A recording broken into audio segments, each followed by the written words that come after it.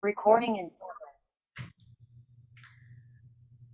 Well, greetings everyone. It's the Tea Mage Kat Sticker, and I am here uh, on Zoom waiting to see if anyone will join me for this first ever Tea Mage Circle. Uh, I'm calling it Soul Circle Thursdays. And so each Thursday, I'm going to have um, a circle for for a different topic. So each topic goes once a month, but every week, every Thursday, I'll have um, a circle on a different topic. So first Thursdays are alchemy. Second Thursdays are herbalism. Uh, third Thursday's meditation, and fourth Thursday is crafts, and that'll that'll be fun too. Um, so I wasn't really expecting a big crowd tonight, or really anyone to join because um, I only started advertising this about two days ago, and you know I don't really have a huge following. So what I thought I would do is just record this, and I made a presentation so that I can I can do it like uh, any of my regular programs where it's more like a webinar style so that you'll be able to watch the recording i'll upload it upload it to youtube and then be able to post it in uh, uh, the Tea Mage Tavern and the Soul Shifters Guild. But the idea of these circles really is to get people onto this Zoom call so that we can talk to each other. And regardless of whether you want to be on camera or off camera, we can hear each other's voice, we can have a discussion um, rather than just me talking to, I don't know who's watching, kind of broadcast. So it's more personal.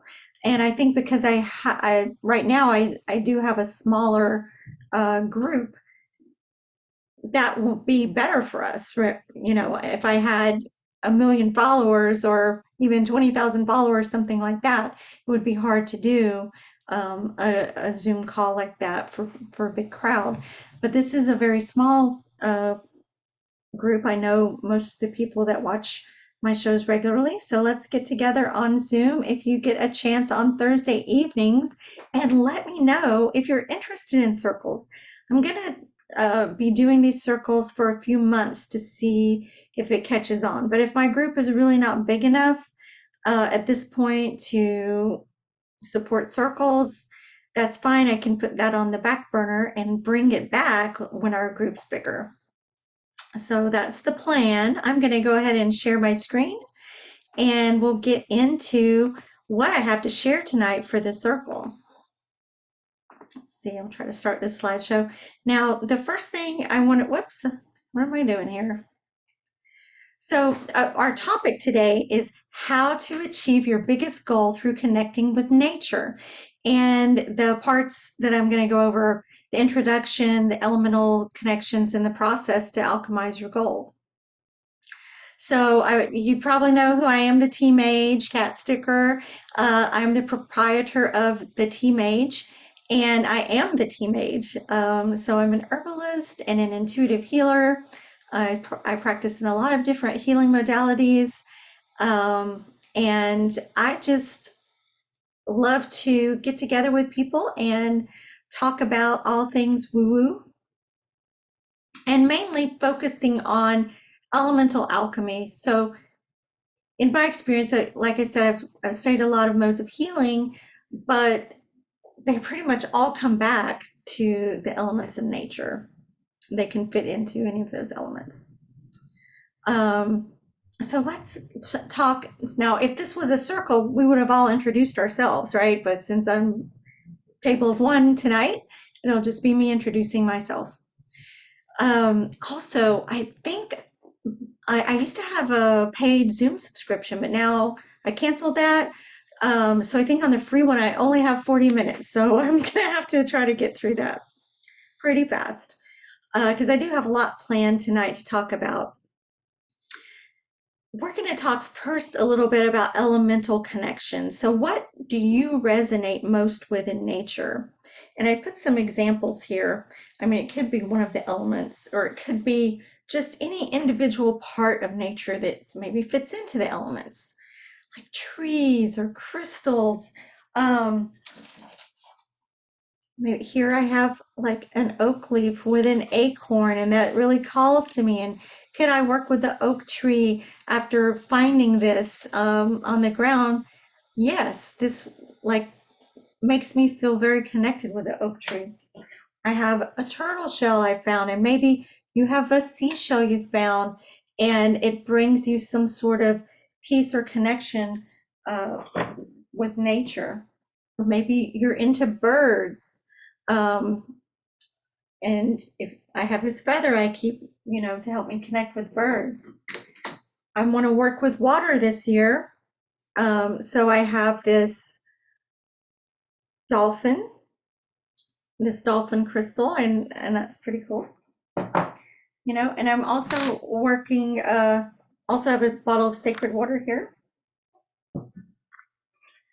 But if you're working with uh, birds or air, maybe you have a bottle of feathers.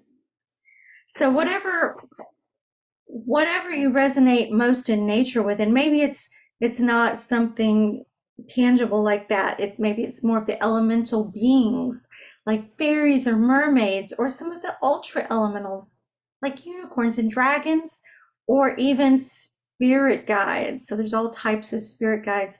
What those are all part of nature and you're a part of nature. So other than yourself, what you resonate most with in nature on a spiritual level, that's going to be a key to uh, what we're talking about tonight, which is how to leverage nature to achieve a goal and achieve what you most want this year. So you can leverage nature to in different different stages First, you're incubating your ideas, then you're planting your seeds and fertilizing them. You're growing, growing those ideas into realities. Um, you can use nature to remove obstacles and then, of course, to go into harvest in the fall and release at the end. So these are things, these are parts of the cycle of growth of life and death of your goals. Um, it's part of basically your project management cycle. It's a different way to talk about project management, but to get to that goal. And you can leverage um, nature in different ways, and we'll we'll get to more of that. So if we were, if you guys were here with me, I would ask you what do you resonate most with in nature. And what one thing I'd like you to do is is write that down and, you know, put it on your altar. What's happening here? I don't want to do that. Okay. I just want to go to the next slide. I can't get it to go. Next. All right. So now we're going to talk about how we can use alchemy for goal realization. We, when we talk about alchemy, what the heck are we talking about? Are we talking about chemistry? Are we talking about turning lead into gold? What do, what do I mean by alchemy?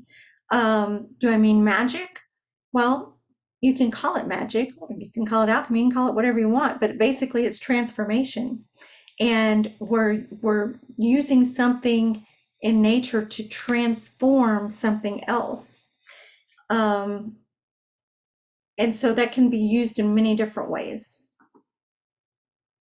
So my next question for you is, what is one thing that you want to happen for yourself this year?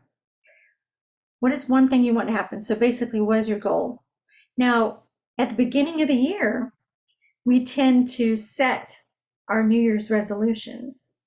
And for some, this goes well, and for some, this goes very badly.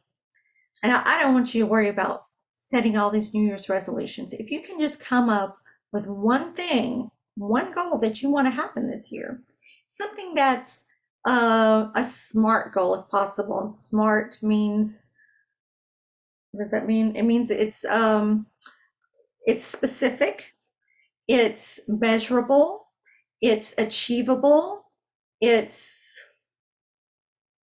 I don't remember what R is. and it's time bound. So something uh, time bound would be like something I want to do this year. Um, specific, you want it to be a pretty specific goal. Like, I want to take a trip to the Bahamas this year. I want to save money for a new car this year. I want to lose 10 pounds this year. Whatever your goal is, make it pretty specific but realistic. You know, you don't want to say, um, I want to, I don't know, turn into a toad this year there's no way for you to do that. So, I mean, there actually is a way to do that. but whatever your goal is, write it on a piece of paper and put it on your altar.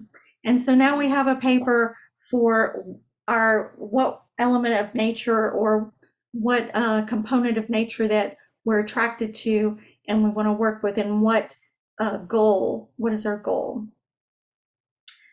And then when you have your goal, think about, th- examine deeply, more deeply in your heart of why do you want this goal? Maybe just keep asking yourself why, because as you drill down, you might find that your real goal is something different. Maybe it's I want this car because it makes me feel happy. Why does it make me feel happy? Because it makes me feel prestigious. And why do you want to feel prestigious? Because I feel like maybe I'm being minimized. And why am I being minimized? Uh, you know, and you just keep drilling down to what is the root cause of wanting that goal. And maybe your real goal is something different, something to change about yourself. So just think about that for a little while. Now, also, you want to create some affirmations about achieving your goal and just visualize what it's going to be like when you are driving that car, when you're on your trip in the Bahamas and, you know, smell the sea and hear the seagulls and all that. Just visualize it. And then let's talk a little bit about how we're going to leverage nature. So which which part of nature do you want to work with? Was it was it the one that resonated most with you or maybe something maybe you really love birds but you don't really want to work with birds this year? What do you want to work with? What part of nature do you want to work with most in 2023 and why? What's attracted you to that? Um, so, and maybe there's more than one. Maybe you want to work with water, but you also want to work with mermaids. Or you want to work with ancestors uh, and you want to work with uh, sun. So pick one or two. Don't pick too many parts of nature because we want to try to to make it simple. Okay. And there's always time to make things more complicated later because you could work with, you know, a hundred parts of nature, but let's just take one at a time and see how that goes and see how many different ways you can work with the one component of nature. Uh, so the next part is it's going to be really important for you to carve out time to work with that component of nature. Don't just put on your altar and forget about it. You actually have to connect, right? So what does that mean? Go, means go outside. Go outside to connect with the things of nature. Now, you may bring some things inside. Maybe it's bad weather, and you bring something inside to help you um, maintain that connection. Uh, of course, if you're working with you know, an elemental or something, you, you don't necessarily have to be outside. But for me, just being outside in nature, that's a big step to working with nature. Um, and then constant, maybe brainstorm about different ways that you can work with that one component. Okay, and I wrote some examples in this box on the side. And now, if you were live here with me on the Zoom, I'd ask you, you know, what is your component that, you, that you're choosing and what kind of ways do you think that, you know, name one way that you plan to work with it. But I want you to make a list of at least 10 ways that you can work with um, that element or not necessarily an element, but that component of nature. And so these are some examples. If I'm working with fire, maybe I'm using it to scry, or maybe I'm using water to release negative energy, or I'm I'm planting seeds into the earth, and so I'm working with earth in the way that it's helping to incubate those seeds. Or I'm working with the wind and I'm using that to propel me forward towards my towards the target of my goal. Or I'm just receiving guidance from nature spirits on what to do next uh, on my action plan. So these are all different things, but I can probably use each component to do all of those things. So you just have to really think about ways to do that. And let your mind just brainstorm it, write it all down. Um, and I want you to check in with your element or your component on a regular basis. Like I said, don't just put it on your altar and forget about it. Maybe you don't, maybe you're not drawn to work with it every day, but I would be working at least several days a week or at least once a week um, to be to keep this going because you need to gain momentum to reach your goal, right? The sooner the better. Do you have to wait till December 31st to reach your goal? No. All right, so what's the next thing? An action plan. Oh, and about the December 31st thing, does your goal have to be completed this year? Well, we want a time bound goal. It doesn't, maybe your goal is going to be a little bit more long term than one year, but it needs to have an end and shouldn't just be open like one day, because that's not a goal, that's a wish. A goal is something we're working towards. And that's why we also need an action plan. So we're going to be working with these elements to get us through to harvest. But we need an action plan to do that. And so what I just like you probably can see the background here. This is um, a, a baseball player sliding into home. Uh, he has the team has a plan. He as a player has a plan to get to each base and make it home. And so that's what you need to do with your goal is to have that plan to come full circle. So how are we going to do that? You got to list out the practical steps towards making progress towards your goal. How do you do it? I don't know, Google it. okay, get some ideas, ask people who have done it. Uh, what'd you do? What bank did you use? You know, what forms did you fill out? Who do you know? Try to find out how much time, money, effort, networking skills you need to reach it.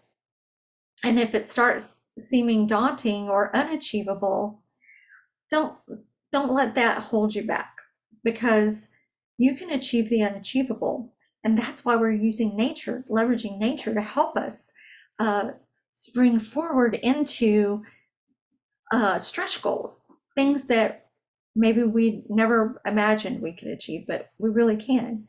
Focus on that ending, but then work backwards as to how you're going to get there.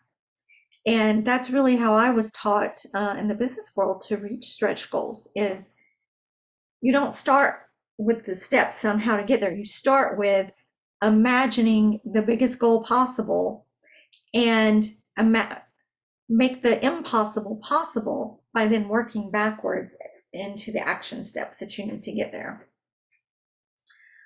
Then you need to actually take action on your plan uh, and implement it and if you get stuck, if you find a lot of resistance or obstacles, um, try to leverage that nature to clear it. For instance, say you need money to achieve your goal. And where's the money? You know, you're going to work on abundance and receiving abundance and being open to that and clearing blocks to abundance. Um, those are some of the things that the the components of nature can help you with if you need networking. You can work with the components of nature to find the right people and to meet the right people. So that is those are some of the ways that that I can see nature helping you with those types of tax, tasks in your action plan. Um, so I want you to ask yourself, how can your chosen component of nature help you with these tasks? And then finally, but not finally, pretty much all throughout, let's adopt an attitude of gratitude because this helps keep your vibration really high uh, and that helps things to happen for you in your favor. So if you can adopt this attitude of gratitude and just be grateful for every little thing, track every little step that you achieve, celebrate all the wins along the way, and uh, write it down so you can at the end say, wow, look at all the things I've accomplished and this is wonderful and you know, thank you nature for helping me. Thank you spirit and uh, it will help you to focus more with that element and go deeper because you start having more and more confidence in what you're doing. You start to have that more of that hope of that belief that you're going to achieve your goal because hope isn't really a strategy. We're built our action plan as our strategy and then using leveraging the nature to push us through to the end. So you're going to let that propel you forward. So in summary, this these are the steps. You're going to focus on one goal, leverage your nature connection on a regular basis, put your plan of action in place, and constantly express gratitude. So I hope that that that framework kind of resonates with you and helps you get you on the path to achieving one huge thing for yourself this year. Um, have confidence that you can do whatever it is you put your mind to. And I do have a few announcements. Uh, so these are events that are upcoming with the Tea Mage. Um, next Thursday's Alchemy Circle topic is protecting your heart. We're going to talk a little bit about um, ways you can protect your heart when you're dealing with your loved ones. And I want you to invite your friends to attend the circle if you feel led, and maybe you'll feel more comfortable if you have someone else joining with you. And it'll be more fun if we have several people on here live we can learn from each other. It shouldn't just be me talking, it can be us sharing with each other and getting to know each other and about our experiences, just sharing our experiences. This is a this is a safe place, safe circle. Also, uh, January 8th, that's on this coming Sunday. Uh, I'll be doing a live broadcast at noon, kind of in all the different places, the Soul Shifters Guild, the Tea Mage Facebook page, um, YouTube, and the Tea Mage Tavern. And I'll just be talking about the upcoming Minimize to Maximize Reset. Now that's it's a series of us. it's a seven week challenge, uh, and it begins January fifteenth. So I'll be going into all the details of what that's going to look like on Sunday, so that people can know if they want to do it or not. Um, the minimize to maximize seven week reset is free and it'll just be broadcast on Sundays. Um, you know what the next step is. So, January 12th, that's the second Thursday, next Thursday, we're having uh, the herbalism circle, and our topic is immunity herbs. So we're talking a lot about immunity in January. I'm going to do a blog about immunity herbs as well. Um, and those are, you know, the most recent or the the nearest events coming up. I have a lot of events planned, you guys. So every time I do one of these circles, I'll have announcements at the end that shows what are the upcoming events. Um, please let me know if there's any particular topics that you want to cover. Now I like planned all the topics for the whole year on my calendar because I wanted to get a, a, jump on this and make sure that I have everything planned out so I can stay on track um, to meet my goals, which is to provide a lot of um, really valuable content and events that the, the community is going to enjoy. So the, these are some of the things that I planned. But if if you have specific things that you want to suggest, I'm happy to change it up and, and put in what, what you guys want. I'm always looking for feedback. Thank you so much for watching the replay, and I wish you love and blessings. Let me stop my screen share. All right. I wish you love and blessings. Um, and I hope next time you will join me in the uh, live. So maybe you just want a particular topic, like maybe you were only interested in herbalism, or maybe you're only interested in meditation. So you could join whichever circle you want. And to join, you just, I'll be publishing the Zoom link every week, and you just click on the Zoom link and come on in. I'll be waiting for you. All right. Thank you. Much love. Have a blessed evening.